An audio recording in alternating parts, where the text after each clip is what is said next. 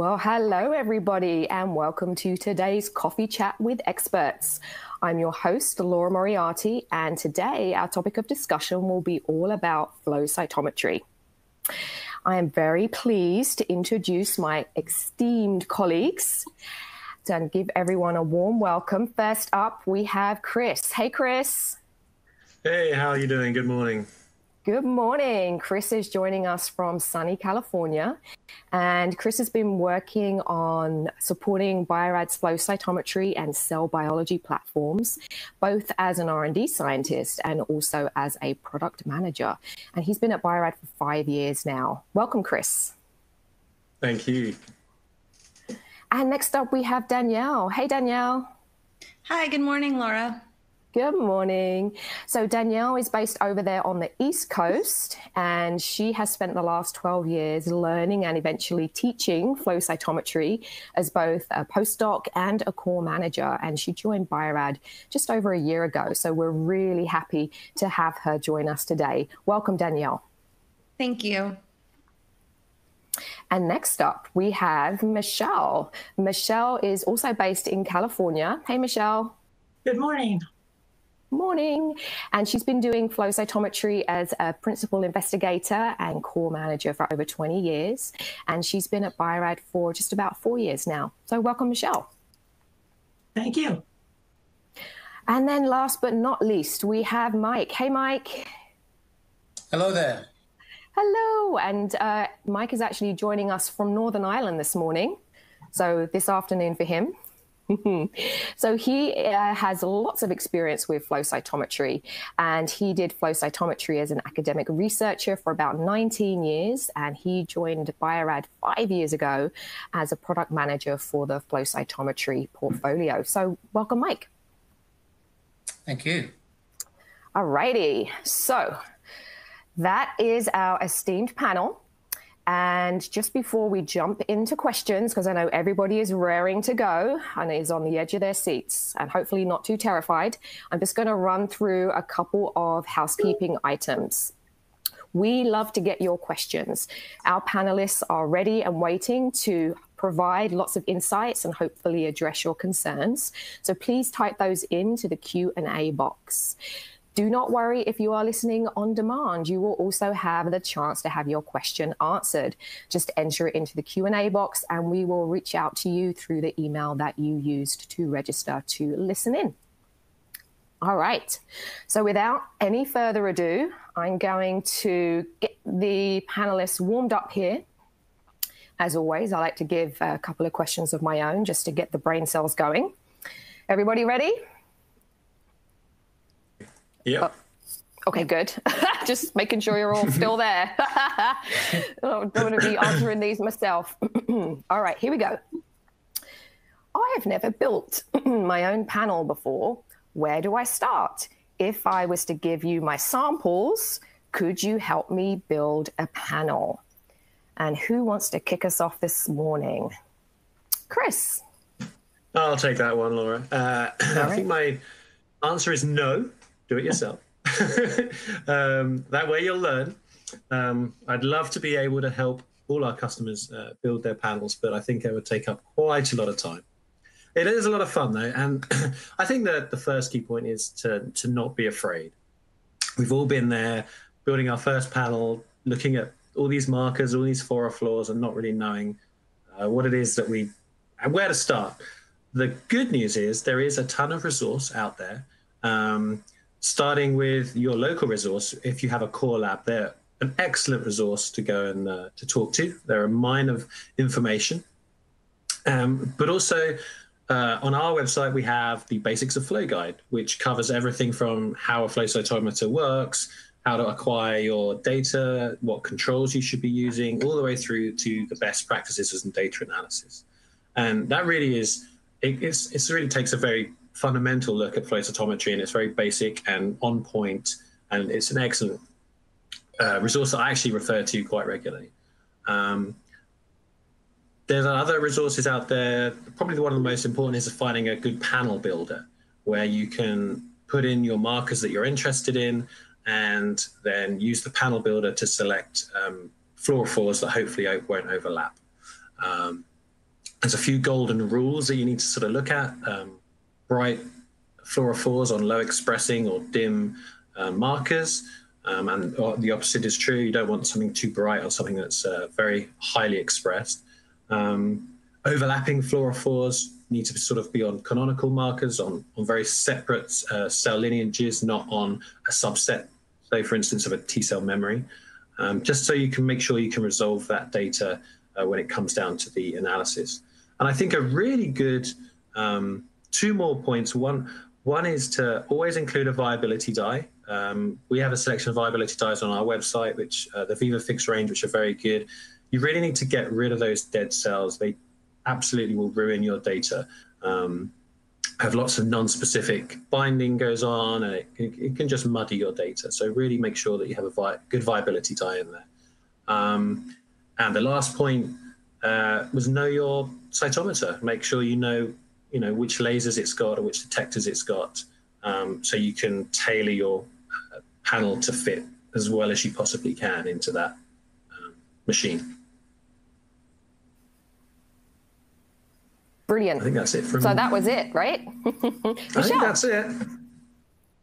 So there, yeah, there are uh, numerous online sources you can go to that I recommend. One would be the uh, the uh, cytometry uh, ISAC site.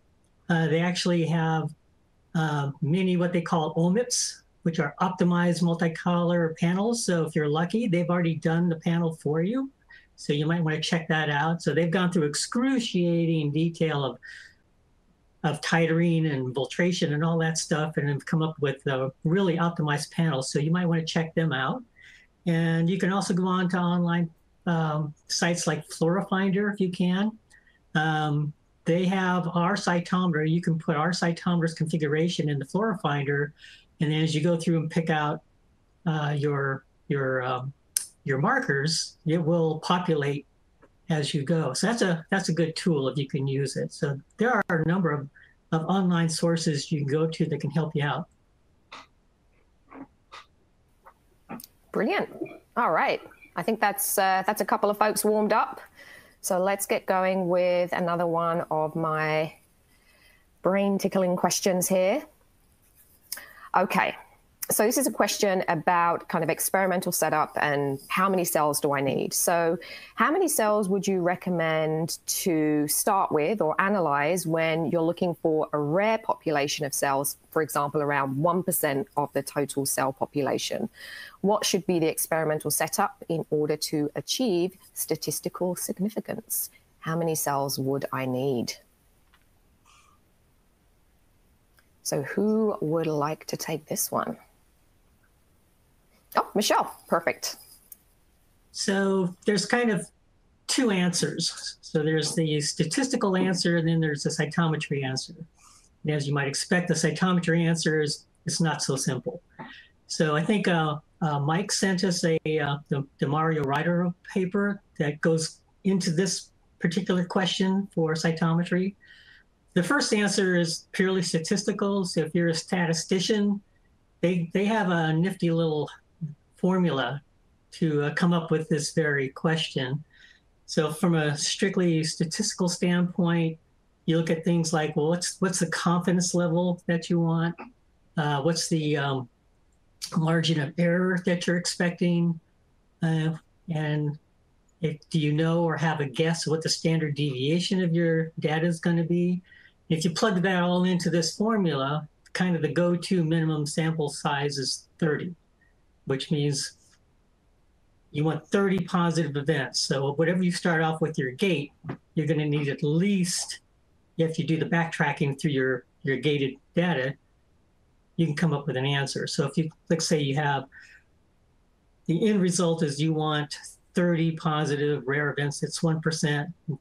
Well, you need to start off with at least 3,000 um, good gated events. So 3,000 viable lymphocyte gates. So that that's kind of the the short um, answer. If you go to the Mario paper, um, he disputes that. So he pretty much says that there is no minimum number. There's no minimum. There's no maximum. It all depends on your um, your controls. Uh, so it's a really good paper to look at. Uh, so you kind of have to kind of, you know, look at what well what you're trying to answer. So it really comes down to controls. So if, if you have, you know, if you have a, if you have a, uh, a rare population, more is always better. So if you can run 30, 40, 50, 100,000 cells, your stats are always going to be better. Yep, that makes sense. Because um, if you're looking for something small, you want to see that your changes or your signal is within that margin of error. So totally makes sense. Love thinking about statistics very early in the morning. Yes, my favorite subject. uh, did anyone have anything to add on that one? Oh, Danielle, please.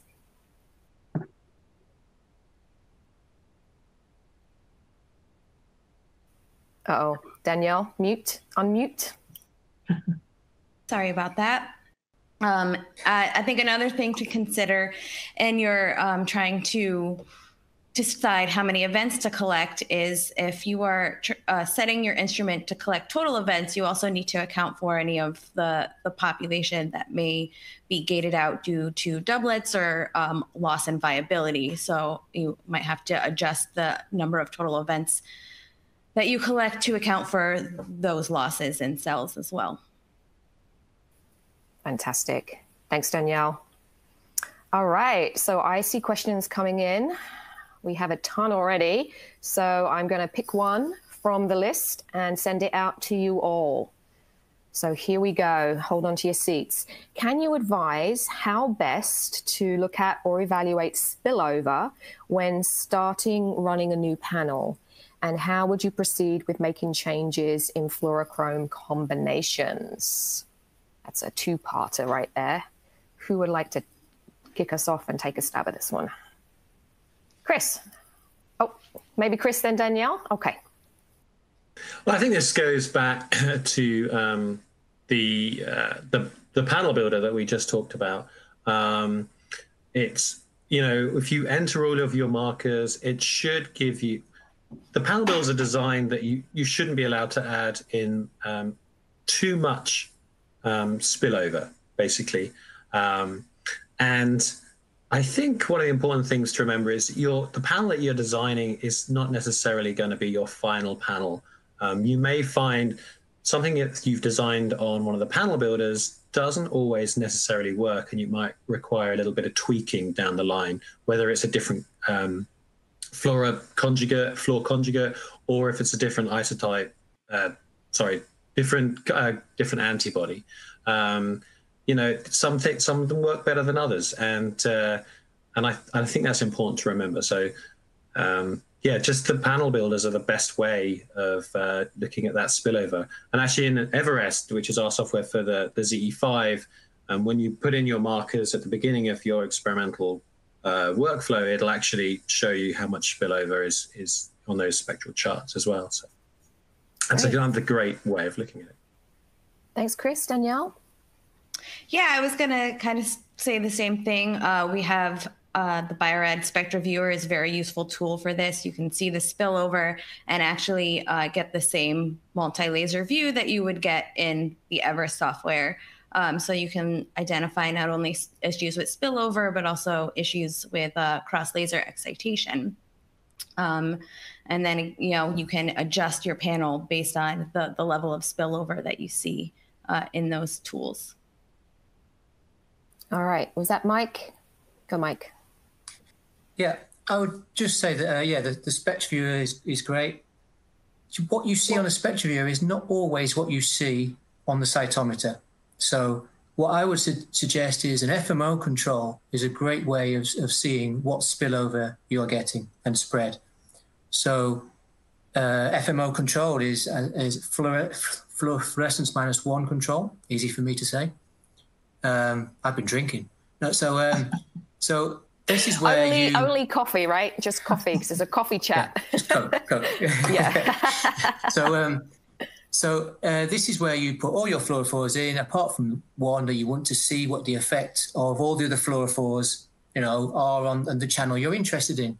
So if you do change the fluorophore, you can then see how all the other, other fluorophores interact. Because remember, as every single fluorophore that you add will have an effect on every other fluorophore within your panel. So I think that's actually a really good control to, to do as well. Brilliant. Michelle.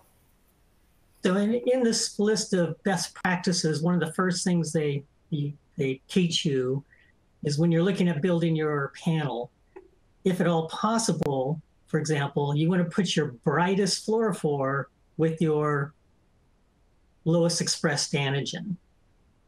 Because you don't want you don't necessarily need very bright bright signals in highly expressed antigens if you don't need to because you don't really need to resolve them that well. So you can when you start looking at the best practices it kind of helps guide you how you pick the fluorophores you want to put on which marker.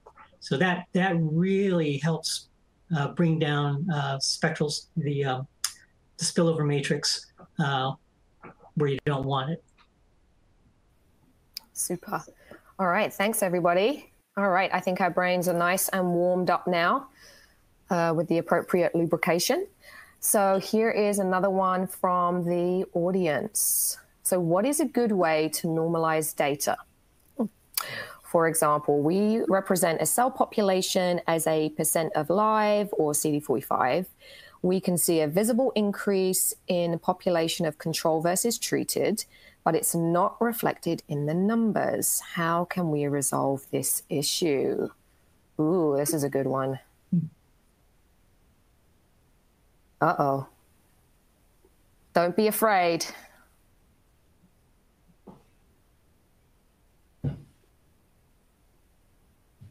Don't be afraid, people. Who would like to tackle this one? It's a long question, so take some time to read it. I uh, go, Chris. Just All right. If you're normalizing against, so let's see, uh, percentage of live or CD45. So presumably, um, doesn't, yeah, you should be able to resolve that. That's pretty much how I would do it. Um, you would take your population, say it's a lymphocyte, let's say we're doing primary cells. We've got PBMCs, we're looking at control, uh, we're looking at B cell marker, for instance. Um, yeah, you would just normalize it against that whole population, or you could normalize it to a perhaps a more stringent marker. So if you CD45 covers a lot of cells. So if you're looking at something like PBMCs, um, that obviously contains a lot of different cell lineages. Um, you might want to dial in a little bit more. Um, looking at, say, it's a B cell marker or a T specific T cell marker or whichever cell you're looking at. Um, and I think that might solve your issue. It would make sure you've got um, you're gating out your debris, you're gating out your dead cells, which is very important, and make sure you're looking at single cells um, for this kind of experiment. That way, you're going to start off with the cleanest data possible um, in order to to look at your actual experimental numbers that you're interested in. Um, yeah, that's what I think. That's what's happening. Is perhaps the noise is overtaking the treatment. Brilliant, Danielle. Um, yeah, I don't. I, might be a possibility that since your percentages have altered, been changed, but your numbers of the, the, cells that you're looking at have not been changed, that there may actually be a, a change in another population that's skewing maybe the statistics of that population. So you may actually want to be looking at alternative populations in your sample that have uh, have been um, altered be, uh, in your experiment. Michelle, I saw you had your hand raised. Go ahead. Another thing you can do is you can you can employ stopping gates. So when you're uh, acquiring your data and you want to make sure that everybody's normalized to the same relative population, you put a stopping gate on that population that you want to normalize to, so that uh, you make sure like you, you say, well, I want to make sure that everybody is related to 20,000 lymphocytes. So you put your stop gate on lymphocytes. So everybody stops at the same number. You could do the same thing at the end. So you could say, well, if your in population is stem cells, you can say, well, I want to stop gate on 500 stem cells, and it'll just keep going until everybody reaches that same stop. So the, the point, the downside is you have to make sure you have enough sample to do that. Um, so you have to keep that in mind. You can also do that after the fact in um, in some of the uh, like FCS Express and FlowJo. You can normalize that way, but uh, it just goes back to thinking about how you're going to set up the, the experiment and make sure you have enough sample to do that. Oh, that's great advice. I'm glad we have you on the call because I don't know if I could have answered that one myself. All right, here we go. They're coming in fast and furious. So um, we're going to pick up the speed a little bit, hopefully here. So how does hydrodynamic focus? How, how is hydrodynamic focusing achieved? What is the physics involved behind it? Good lord, physics. Okay, who wants this one? Statistics, physics. Okay, go, Mike. so believe it or not, Leonardo da Vinci first proposed how hydrodynamic uh, focusing uh, works. So he said that if you have a quantity of liquid that is flowing through a, you know, through a, a tube, the rate is proportional to the, the width of the tube. And I'm probably getting some of this slightly mixed up, but it's definitely Leonardo da Vinci. Um, but anyway, what, what basically what this means is if you narrow um, your tube, as you do at the end of a, a flow cytometer, it will flow at a faster rate because the same amount of fluid has to go through um, those going at the wider part of the, the tube. Um, so it speeds up. So then this this means that you can focus your your your um, your liquid, and therefore your stream of cells obviously very important to make sure you're only uh, interrogating one cell as it's passing through the laser, not multiple cells. Because the flow cytometer, if it has two cells go through, it still counts it as one cell. It's not that clever. Got it. Okay, I like that. I think that will be the uh, quote of the day. Your flow cytometer, not that clever. I like it. All right, Michelle.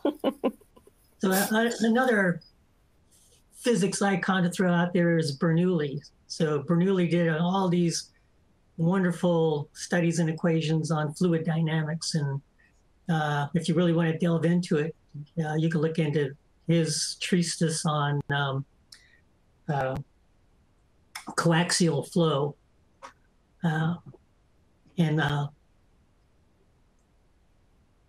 the dynamics of fluids in uh, in a flowing situation. So there's quite a quite a bit of physics out there to explain it, and it's much more than we can go into here, really. But it I works. think that will have to be, yeah, exactly right. It works. it works. Love it. All right. So for all those gearheads who want some more details, um, I think you can have, find lots of useful information. But thank you to the panelists for kind of uh, whetting people's appetites with a couple of ideas there. All right, so here's our next one. Mm-mm. So this person's been told that single stained color controls for compensation should be as bright or brighter than in our samples. Is this true? And do you know why they need to be as bright or brighter?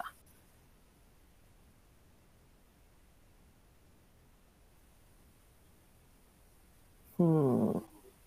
Uh oh. Michelle.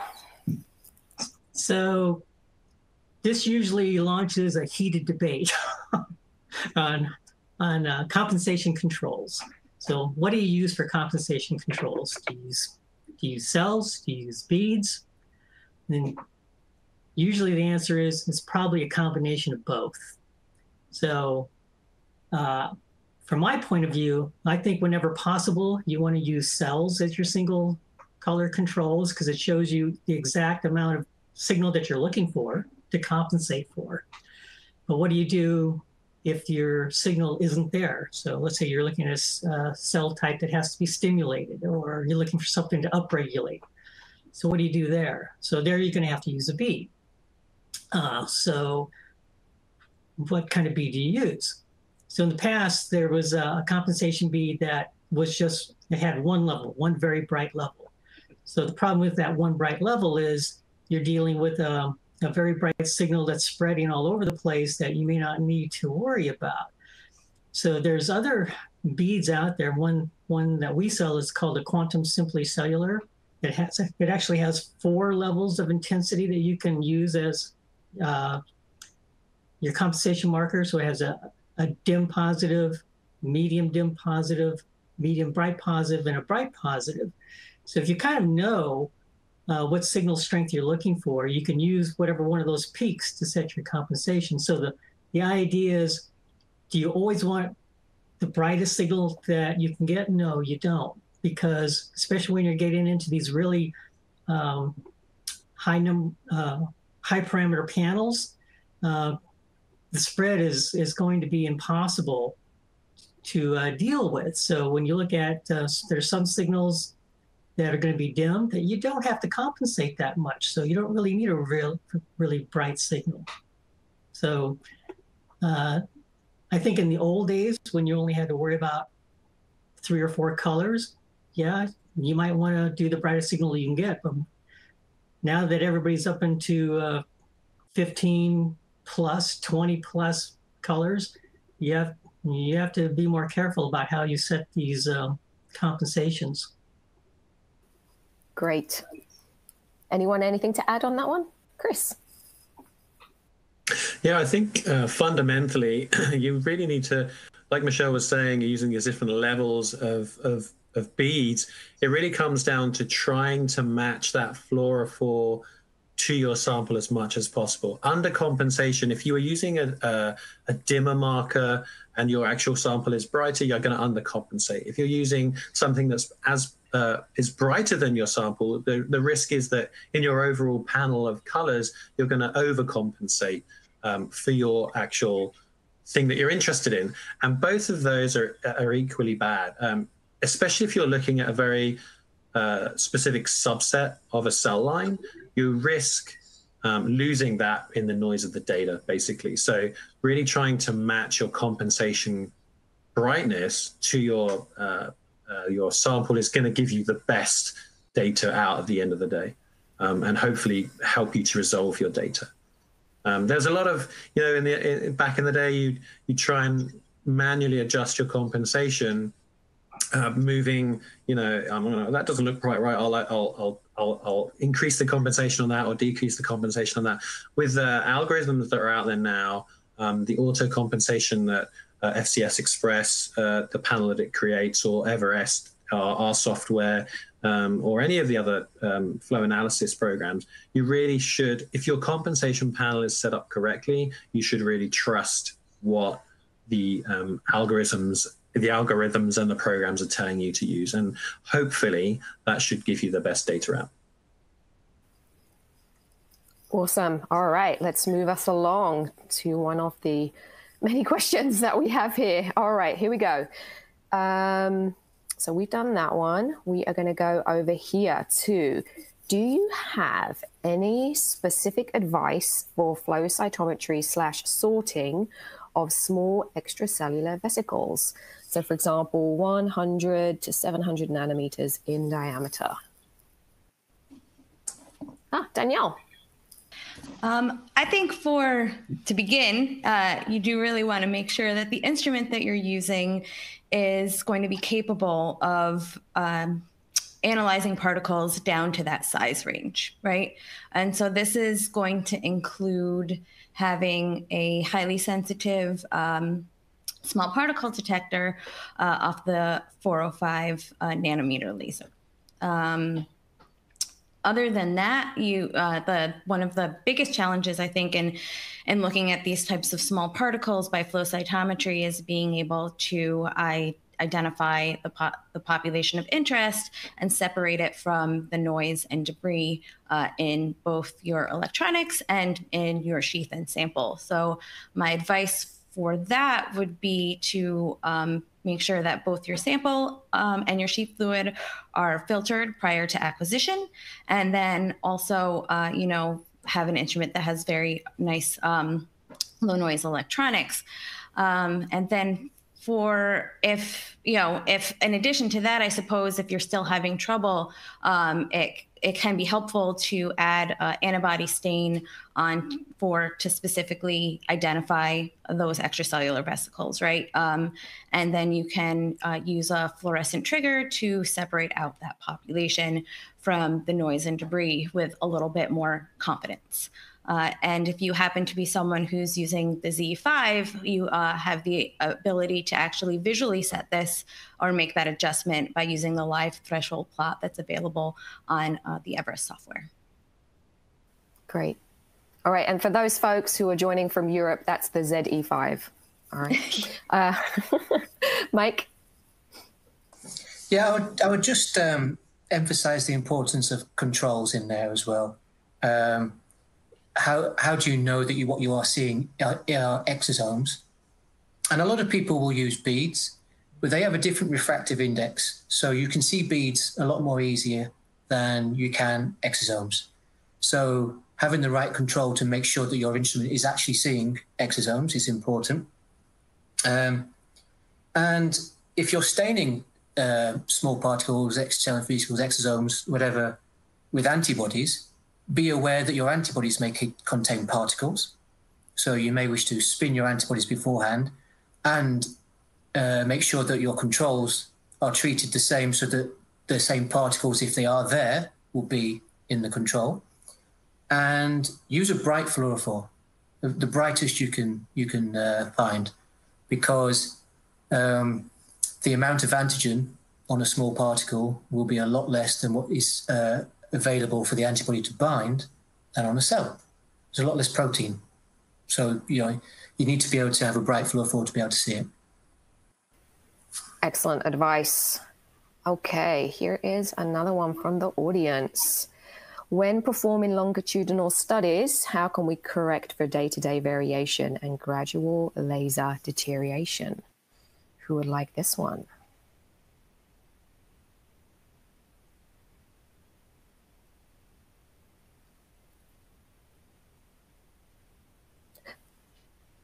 Anybody?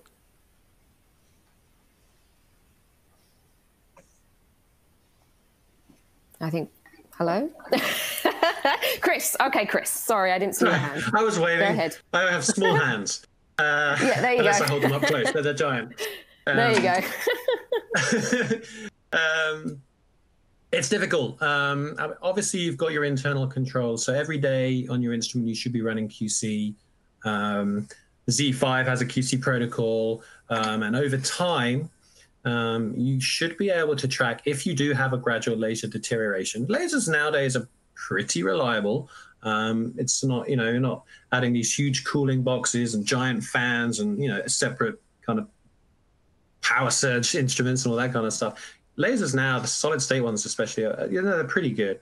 Um, and you can monitor those degradations if they happen over time, or if you can see if anything is going wrong with your instrument.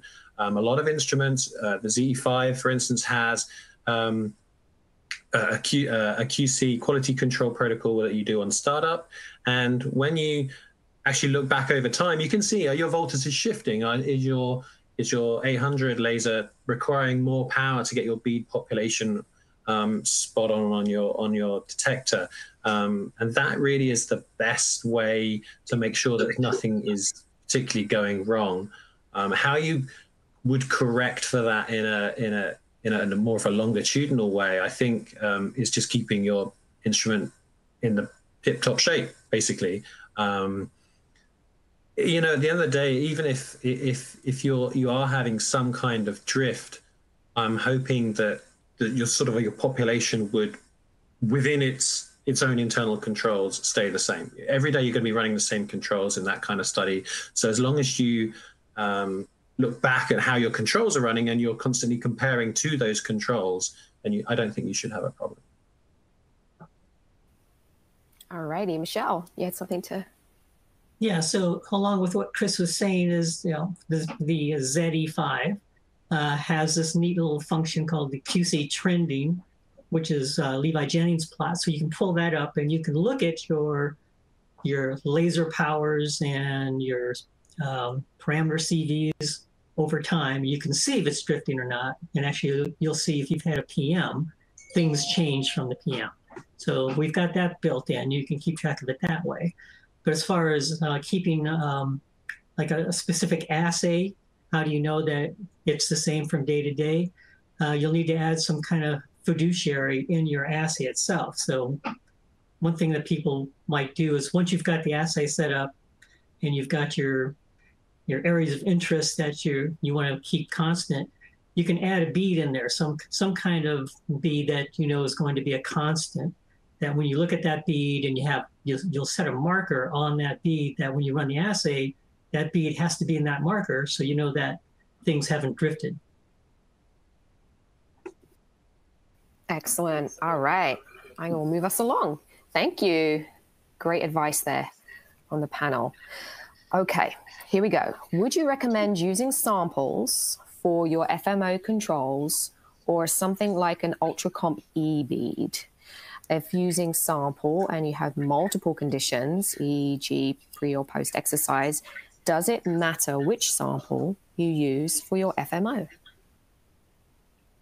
Who would like to tackle this one? Danielle. Um, I would definitely recommend uh, using your sample and your actual cells for uh, your FMOs. I think that uh, you really are, are, looking to account for the amount of spread uh, that becomes apparent in the data after you run compensation and use that as a guide for setting your populations. Um, so I think it's very important that you use your samples in to do that. Um, for the second part of the question, if you're looking at multiple conditions, um, I think that it, depending on your experiment, you are going to want to use the sample that is going to express the your markers or your antigens um, i think at the highest density because that's going to you know show you that that spread or you can use uh, multiple um, i guess if you are concerned can use multiple uh, different samples to to as fmo controls uh, if there's going to be a widely different uh, profile in uh, antigen expression. Brilliant. Chris, something to add there?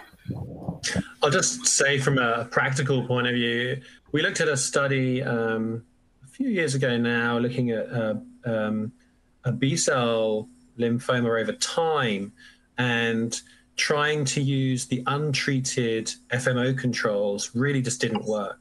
Um, there was such a dramatic shift in the B cell lymphoma that uh, you really had to use those experimental samples as your FMO controls because trying to match that um, lymphoma as it grew to an untreated control sample was just impossible. You couldn't see your, your populations. You certainly can see the memory B cell populations. Um, and those are the ones, you know, if you're really trying to drill down into the data, yeah, you might be able to see sort of high, high level um, separations and, um, you know, see CD3 minus or CD3 positive. Um, but really, if you're trying to drill down into those um, sort of memory memory subsets, then you really need to. You're going to find that those untreated controls are not probably not going to be working well for you. So use those experimental samples, and that's a pain I know because you may not have much of those experimental samples or those drug treated samples to use. So one shortcut, um, and I'm probably going to spark off a cytometry storm of controversy here is if if if you have a very limited sample, it might not necessarily be that you need to run all your FMO controls. If you're having a particular problem with one of, of, of, of separating out one particular subset, maybe just run those uh, FMOs. Um, it's not the best practice. The best practice would be to run everything. But if you don't have enough cells and you have no choice, um, yeah, try and drill down and be a bit more uh, choice about your uh, the, the, which FMOs you're going to try and run. Awesome. Thanks, Chris. All right. So here's another one here. We kind of touched upon it, I think, a little in the previous answer, but how can flow cytometry be applied to detect lymphomas? Mike. Simple answer antibodies. so um, it depends um, what lymphomas you're looking for. Um, and I, I, think quite often it's the preparation of your sample is probably important here. Um, so there's the, the old saying is rubbish in, rubbish out. So if, if you don't prepare your sample very well, you're not going to get very good results. So um, have a look at what lots of published data. You might have to treat lymphomas with enzymes, or, or you, could you might have to use uh, mechanical uh, disaggregation. But see what's best uh, for your lymphoma. And then find out what the best antibodies to use for your lymphoma are. Um, make sure you're using clones that are specific for flow cytometry. Uh, make check the literature. You know what's cited. Find out what markers are present on your lymphoma, um, and there's lots of lots of information there. And then it comes down to building that panel, checking which markers are the dim ones and the the uh, the, the high abundance ones, and then mixing and matching with your fluorophores. Um, I think it's knowing the biology of your sample is sometimes just as important as knowing the, uh, the, the, the physics of your flow cytometer. We'll see. Yep. Preparation and uh, reading and understanding, I think, is extremely important. Brilliant. Michelle. So, like Mike said, actually, there are a ton of pre made lymphoma panels out there. So, if you go online, uh, there's many, many high level or very well respected um, clinical sites that have already done a lymphoma panel. So if you just go start looking through them, they'll show you, you know, what what are the best markers and how do you best set up the sample. So it's if you, if a lymphoma panel is what you're looking for, it's already been done. I love that. Always do your literature searching first. Yeah. Oh, Chris, Chris, one more thing from Chris. Uh oh, big hands. Yeah, no, I was just going to say. So I was just thinking back to the B cell lymphoma panel we ran, and I think if the question is coming from a more fundamental um, point, you are there are places you can look online, but there there's an average number of cells that the average healthy person has. It has a certain percentage of T cells, a certain percentage of B cells a lymphoma will be detected by a massive shift in one of those populations. So these panels are going to pick out those population shifts. For instance, with our B cell lymphoma, it's pretty obvious. There's flow cytometry. You can see all your subsets of cells, and you'll have a this this will be your positions of T cells, and here will be your B cells, and you can see those on your actual flow cytometer. When you have a lymphoma, one of those populations is going to just blow out of the water. You'll see, go, oh, that's pretty obvious. I've got 90% B cells, something's not quite going on there. So I just wanted to kind of take it back to the root level of if that's where the person was coming from, um, that's how flow cytometry works, looking at subsets, T, uh, cell subsets and changing into those population numbers. Great. Oh, gonna, Mike, one Mike's more thing. yeah. yeah. he's going to say he's going to say that's all rubbish. no, it's uh, and you might actually see some very strange populations uh, we were doing some uh, in vivo work, and I was actually I was actually doing it for somebody else, and they trusted me. And I went to the flow cytometer, and all the B cells were also, I think it was CD11B positive as well. So I thought, well, I've made a mistake here. I've put in the wrong antibody, the wrong fluorophore. So I collected all the data, and I was uh, humbly went along and said, I think I've made a mistake. And they're like, oh no, no, that, that's exactly what we're supposed to see. So I think that does come down to maybe some of that literature search and be prepared to see the unexpected. Yep. That reminds me of a 70s TV show, Tales of the Unexpected. but uh, that's only for the uh, UK folks uh, on the, uh, on the call. Time. yeah, it was. It's pretty old. I'm far too young for that. Yeah. Sure, sure. All right, here we go. Let's uh, keep us going here. So, what is a good resource for antigen density? Mike. I just happen to know this one uh, because we have a resource on bio antibodies. It's almost as if this was planted. Um, so we we we um, always trying to give customers advice on how to build the panels as we're doing today. And we always say, yeah, check your antigen density. And, and there's not that much information out there. So we decided to create some. So um, we actually used the Simply Cellular beads that I think Michelle and Chris have talked about earlier, uh, because they bind a set amount of antibody. And you cre- create a standard curve. And so we did this using uh, PE labeled antibodies. And so you have no antibody bound, then low, mid, and high. And you create the standard curve, and you can see essentially uh, how much antibody has bound. And you then stain your cells with the same antibody, with the same fluorophore. And you basically just read off the standard curve that you've uh, created. And you get how much antigen, relative antigen density is on, on, the, on the cells for each antigen. So we have created I think about 20 or so for human, uh, and the same for, for mouse. So uh, I think we go to bioradantibodies.com forward slash antigen density, I think would probably take you straight there. Oh, bloody hell. That is pretty neat. Nice one. All right, let's move us along. I'm going to pick this one. This is, okay, here we go. This is from the UK. Uh, when you design an assay and plan to deploy it across different labs, are there decisions you would take early on to ensure the best homogeneity across instruments? I'm guessing controls, controls, controls. Um, but who would like this one? you better volunteer or I'm going to voluntold one of you. Don't be afraid. Michelle. so this is this is kind of a hot topic uh, for like um, CROs and clinical labs where they're doing the same assay across different sites. So how do you know that one Z5 is the same as the other Z5? So that's um, one thing that that we haven't implemented yet and we're working on is um, a full suite of instrument characterization, sort of like hate to you know talk about the competition like the BD um, CSTB. So uh, a lot of work went into that, using that bead to characterize each instrument.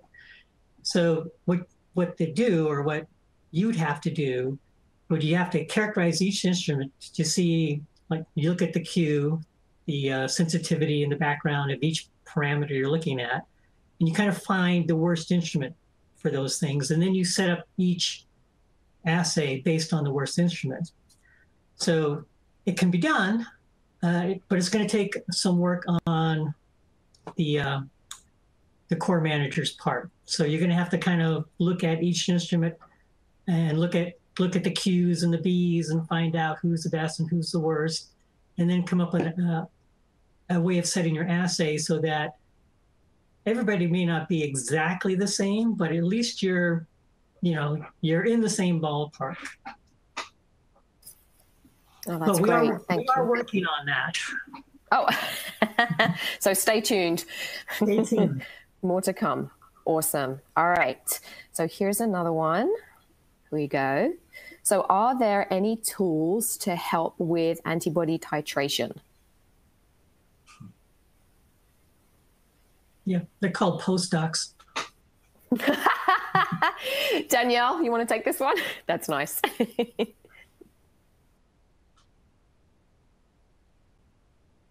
Uh oh, Danielle's on mute.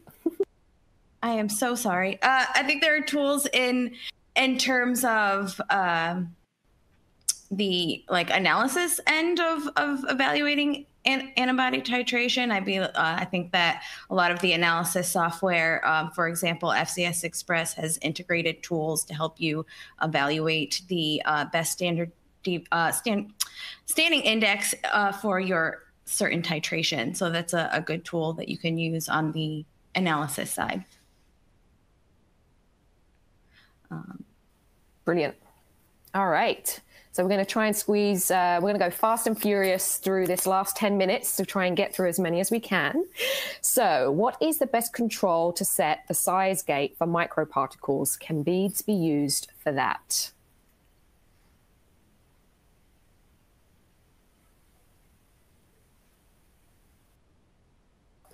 Go for it, Mike.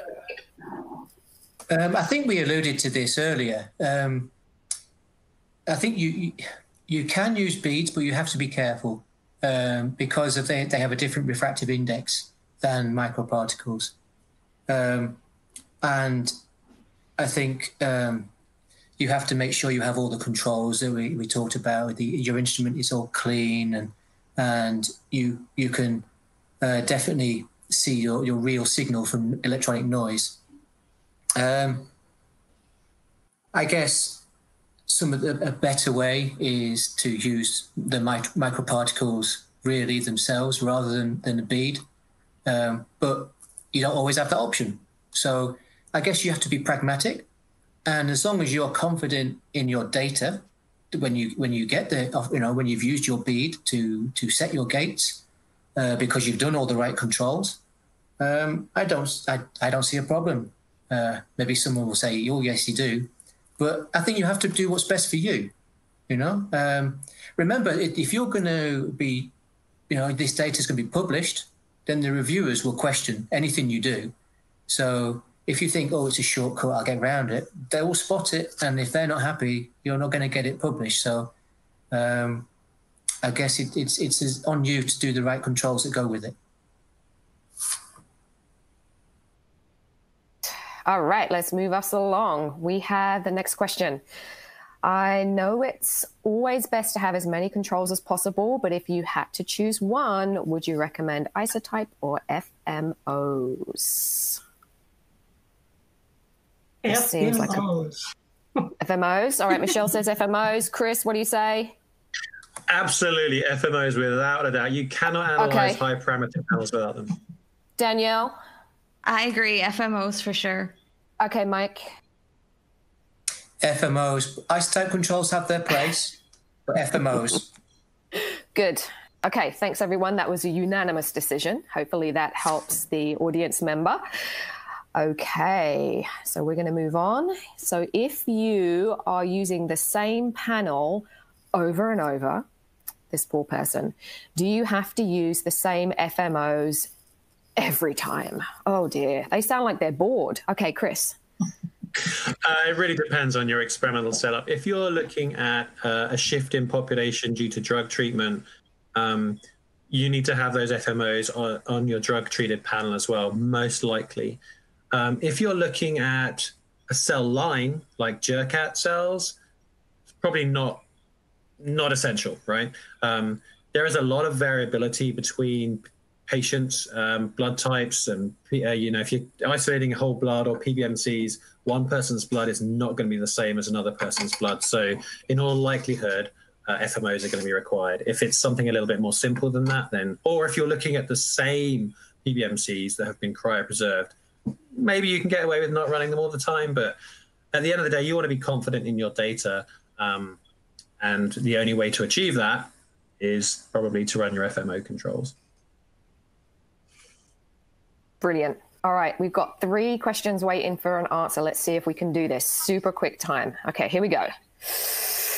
Oh God, and of course I picked the longest question. Okay, for staining of lymphocytes, is it valid to prepare compensation controls from the blood and use them versus another tissue that does not have as much lymphocytes as the blood?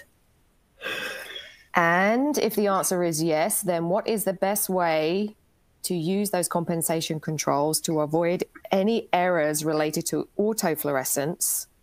So many controls. Blimey. I think I I didn't see that it was that long when I picked it, but it's a good question. Who would like to take this one? Danielle. yeah. Um, I mean, I feel like you partially answered your own question uh, in terms of, you know, one of the rules is you really do want to have the same autofluorescence in your your compensation controls as you do in, uh, you know, and so you would. I think it would be best. It's best practices. I think to want to use the the same tissue because you're going to have different levels of expression in the markers in the different tissues, especially if there's um, not as many lymphocytes in those tissues. If you have questions uh, about maybe not getting a, a, bright enough signal or a good enough signal for your compensation controls when using um, a, the other tissue because there's not enough lymph- lymphocytes, this might be a good opportunity to use like antibody binding beads for compensation as opposed to cellular material. Fantastic. All right, I'm going to keep us going here on a roll. Hopefully, this one is not Okay, good. We've got a short one here. When using different scales, such as BIEX or Logicle, does it matter which scales you use to set up your cytometer or acquire your data? Ah, Chris. No. no. It's all the same. It's just it's just different um, a- algorithms that show your data in a different way. The data is exactly the same. It doesn't really matter which scale you're using. It's all the same. It just it's how the data appears to you. Um, and as long as everything's on scale, um, you can use whatever you want. Just stick with it though. Yeah. because if you try and go, yeah. All right, so choose one and stick with it. It's like your your lifelong partner, okay, or experiment long partner. Okay, all right. Now this is another long one, so uh, here here we go. I am trying to do FACS on fibroblasts, which are very difficult to count. I will compare sample one with a lot of cells to sample two with very few cells. Will the staining be heavily affected by number of cells um, if I still will acquire the same number of cells? In the case the one with more cells will appear with a marker dimmer, would that be due to higher number of cells catching the antibody and giving a lower signal? Flip your neck who wants this one? I know probably there's like one brain cell left between us, but I think we can do this. Michelle. Yes. So antibody antigen binding, it's an equilibrium, right? So it's a mass action um, equation. So if you have a, a lot more cells with a lot more antigen, it's going to bind a lot more antibody. So it does make a difference in the overall signal. You know, usually there, there has to be quite a big difference between cells. But yes, if you have a, a few cells with the same stain, stain amount, it's going to stain differently than a whole bunch of cells with the same stain amount. Fantastic. All right, are you ready? Don't be sad, but this is the last one I'm going to uh, send to everybody. Uh, we're up against the clock at this point. Okay. All right, this person is switching from single tubes to plate based high throughput analysis. What precautions do they need to take? Any caveats, um, software suggestions? Oh, blimey, this could be a long one, but um, we just have a couple of minutes. So uh, keep it brief. Danielle.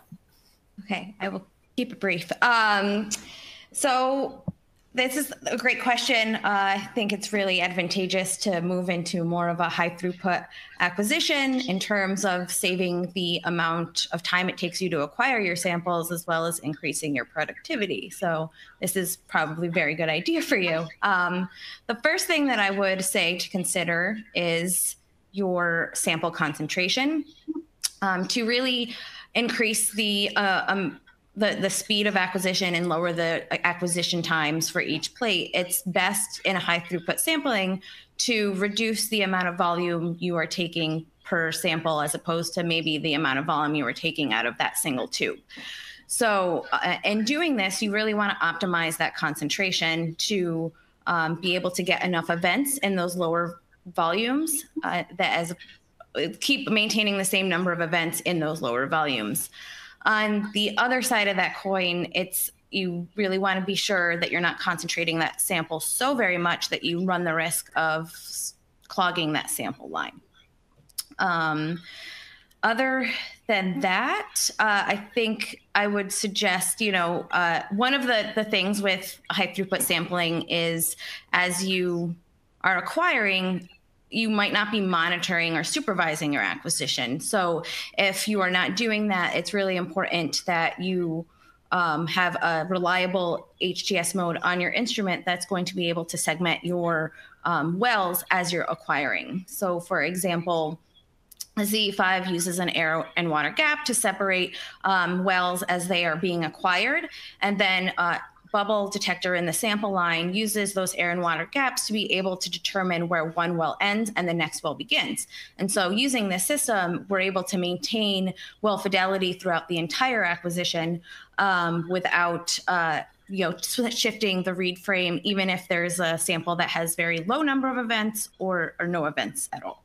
Um, and quickly, the last software suggestions, uh, you would going to want uh, software that's capable of analyzing a high large amounts of data and has plate based analysis tools like uh, plate heat mapping and, and things like that. Um, I would say, you know, FCS Express, FlowJo all have similar tools like that as well. Fantastic. Okay, everyone, you can breathe a huge sigh of relief. You did a great job. Virtual round of applause for the panelists. Thank you, thank you, thank you. I think I kept you on your toes with lots of statistics and physics questions. Um, and hopefully, you in the audience got some of your questions addressed. I know there are still a few that we didn't get to, but we will reach out to you by email and get those answered. So, before we sign off, I just want to give a quick plug to some of the other great coffee chats that we have in the series with topics ranging from chromatography through to Western blotting, qPCR, droplet digital PCR. So take a look at those. Some are available on demand and some are still to come live. All right. Well, thank you again to my great panelists. Thank you, Danielle, Michelle, Chris, and Mike. Thank you. Thank you so much. And uh, goodbye to everyone in the audience and uh, stay safe, everybody.